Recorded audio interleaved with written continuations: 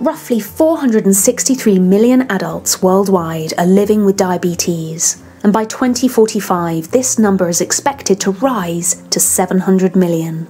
Researchers of this new observational study, published in the Endocrine Society's Journal of Clinical Endocrinology and Metabolism, analysed the data of more than 7,600 participants who completed an exam and food frequency questionnaires at baseline, including questions on fruit and fruit juice intake. Exposures of interest were intakes of total fruit, individual fruits commonly consumed by participants, and fruit juice.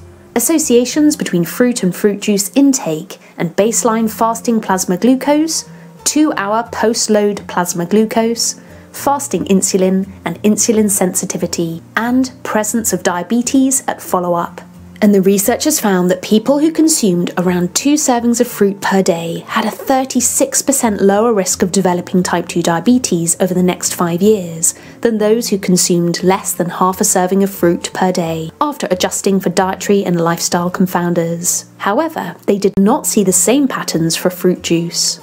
The scientists found a correlation between fruit intake and markers of insulin sensitivity, meaning people who consumed more fruit had to produce less insulin to lower their blood glucose levels, which is a key finding because hyperinsulinemia can damage blood vessels and is not only related to diabetes but also high blood pressure, obesity, and heart disease. What's exciting is that these findings provide evidence that consuming fruit can reduce the risk for developing diabetes by preserving insulin sensitivity. The study authors commented that it's unclear how fruit contributes to insulin sensitivity, but there are probably several explanations. As well as being high in vitamins and minerals, fruits are a great source of phytochemicals which may increase insulin sensitivity, and fibre which helps regulate the release of sugar into the blood.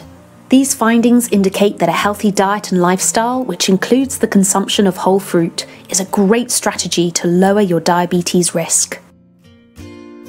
Thank you so much for watching. If you liked the video, please give it a thumbs up, leave a comment below and subscribe for more upcoming videos.